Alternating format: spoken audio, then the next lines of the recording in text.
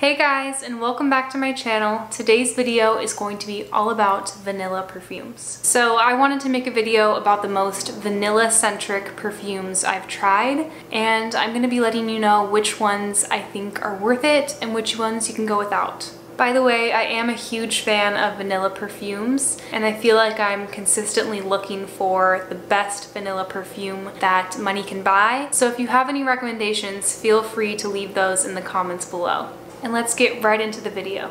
Okay, so if you've seen some of my other videos, this may not come as a surprise. The first perfume I want to mention is Kayali Vanilla 28. And I absolutely love this perfume. This to me is a 10 out of 10 classic vanilla scent that you can layer with almost anything. When I'm in the mood to smell like vanilla, I really want to smell like vanilla. And even though vanilla is a common note, it's kind of hard to find vanilla-centric perfumes that their main focus is vanilla. And Kayali just really nailed it with this perfume. I'm gonna go ahead and spray this. So this perfume is really, really sweet. It's almost syrupy sweet. It smells like dark, rich vanilla and brown sugar. I'll go ahead and pull up the notes. The top notes are vanilla orchid and jasmine. The middle notes are brown sugar and tonka bean. And the base notes are amber, amberwood, musk, and patchouli. It's just a really sweet, girly vanilla, anything I could ask for in a vanilla perfume. Like I said, this perfume layers really well and the performance of this perfume is also really good in my opinion. It definitely lasts on my skin and it definitely projects and I get lots of compliments when I wear this. So if you're looking for a 10 out of 10 classic vanilla scent with great performance, then definitely check out Vanilla 28 from Kayali. I highly recommend this one. Alright, and this next one I would describe as more of a soft and subtle vanilla scent. And this is Manifesto from YSL. Mm, and I absolutely love this scent. Let me spray it for you guys. So this one is just really smooth and nice and classy. It's a bit more powdery, fluffy, it has some white florals in here. It's just balanced really, really well, but again, the main note in here is vanilla. It almost has a hint of some spiciness, not too much, but it's mainly just a really gorgeous and smooth powdery vanilla. And let me go ahead and pull up the notes. So the top notes are blackcurrant, bergamot, and green notes. The middle notes are jasmine sambac and lily of the valley, and the base notes are vanilla, tonka bean, sandalwood, and cedar. Another perfume with tonka bean in it. Tonka bean is definitely a note that I enjoy in fragrances. It just gives it more of that sweet, edible, gourmand vibe. And I just really, really like this one. I think it's so wearable, so versatile. You can wear this in the day, night, summer, winter. It'd be a great signature scent. I feel like it's not too popular or talked about these days, so even though it's a vanilla scent, it's still a little bit more unique because not everyone is wearing it. And I also see this as a little bit more sophisticated and classy than some of the other vanilla scents I'm going to be talking about. So again, that is Manifesto from YSL. Okay, the next perfume I want to mention is my favorite summer vanilla. And this is Madagascar Vanilla Perfume Oil from Nest. This is a blend of vanilla, coconut, and a little bit of saltiness that gives it this beachy vibe and I like that this one is an oil because it really sinks into your skin and moisturizes your skin and because of that it lasts throughout the day really well. I've been really surprised by how much this perfume projects and how much people around me can smell me. And I'll just say when I first purchased this, I obviously liked it. I was looking for more like classic true vanilla scents and I liked it, but I didn't think there was much special about it. It doesn't smell super unique, but it is a really luxurious, creamy, sweet coconut vanilla. And I feel like this is just the perfect hot weather beach day scent that you don't even have to think about. You just apply it to your wrists, behind your neck, put on a really nice lotion, you go to the beach and you just smell heavenly. As far as the notes go, the top note is vanilla bean, the middle note is vanilla orchid, and the base note is coconut. And even though there's no salt note, I'm gonna add salt because there's a little bit of saltiness to it that reminds me of the beach. Highly recommend checking this one out if you love coconut and vanilla. Again, this is Madagascar Vanilla from Nest. Okay, next vanilla scent I want to talk about is from the Seven Virtues, and this is Vanilla Woods. I feel like this one is pretty well known by now. This is a popular clean brand at Sephora. This one I kind of have mixed feelings on. When I first reviewed this, I think I liked it a little bit more than I do now because testing it out, there is a note I get in here that I find a little bit difficult and that's why I haven't gone to purchase a bottle of this. But that being said, there are some things that I really do like about this scent.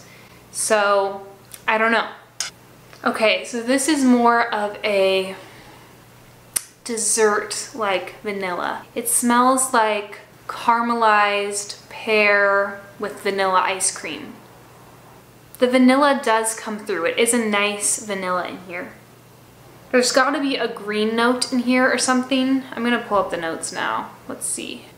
No green note. The top note is pear, the middle note is rose, and the base notes are vanilla, caramel, and amber.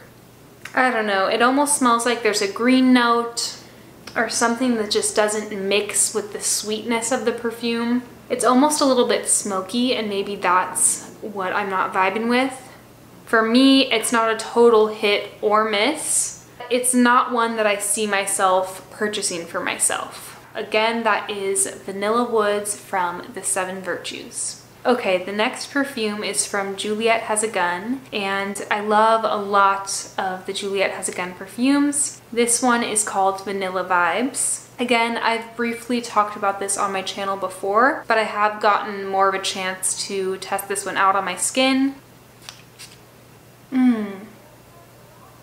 Okay, so this is another one that I have a little bit of a love and hate relationship because when I first smell this, I get a whiff of like vanilla rum. And I love scents that smell boozy like that, and I like the kind of vanilla that's in here. And there's some salt in here too. This is definitely another beachy vanilla similar to Madagascar vanilla from Nest. But this one is a lot more salty and there's some marine notes in here as well. The top note is salt the middle note is Vanilla Absolute and Orchid, and the base notes are Tonka Bean, Sandalwood, Musk, and Benzoin. I almost feel like there's another note that isn't listed on Fragrantica because there's definitely some kind of marine green note in here like seaweed. As much as I love the opening of this perfume and that rich vanilla and the saltiness, like the more I smell it, the more I get this whiff of seaweed and I don't love that on myself. But that being said, I think there's people who love the scent of the ocean and they love that kind of aquatic marine vibe. And if that's you, I definitely do recommend this because there are a lot of things that I love about this perfume. It's just that seaweed smell that I can't get behind and that's why I haven't purchased this perfume myself. But again, that is Vanilla Vibes from Juliette Has a Gun. All right, the next perfume I wanna mention is from Skylar, and this is Vanilla Sky. So this one I really, really like the scent of. This is warm, ambery. It's the perfect vanilla in here.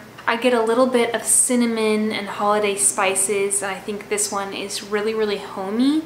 I absolutely love the scent. The only thing about this perfume is it does not last on my skin. And I wanna know if I'm the only one or if other people have that issue with this perfume too. This one's already disappearing.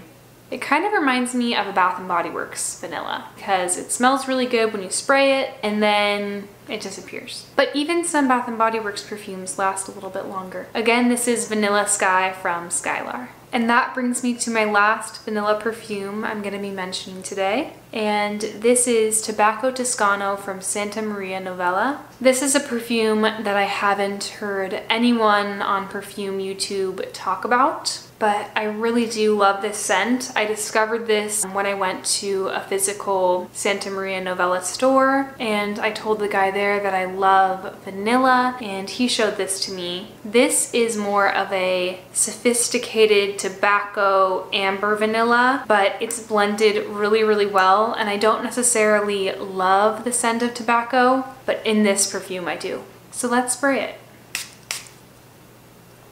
So for me, this is a really nice going out scent. It's definitely more appropriate for nighttime. And what this reminds me of is actually Jazz Club by Replica, which I absolutely love the scent of Jazz Club, but I cannot see myself wearing it. For me, it's just a little bit too much and I even like boozy scents, but it's almost a little bit too boozy for me. Whereas this is a little bit more subdued. It's easier to wear. It's blended really well so that if someone didn't tell you there was tobacco in there, you wouldn't necessarily pick it up. It's just so nice. It's a little, a little bit spicy, but not too spicy.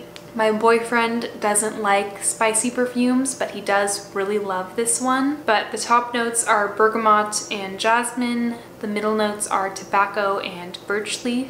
And the base notes are vanilla, amber, and malt. Yeah, it definitely has a little bit of woodiness to it. The warmth of the amber is very present. And the nice thing about this perfume is I literally never hear people talking about it. So if you want something that's not as popular, that you're gonna smell a little bit more unique, I would check this one out. Again, that is Tobacco Toscano from Santa Maria Novella.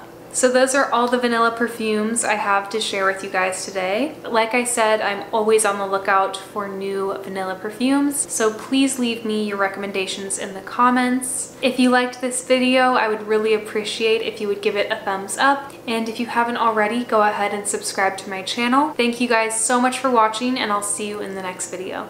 Bye!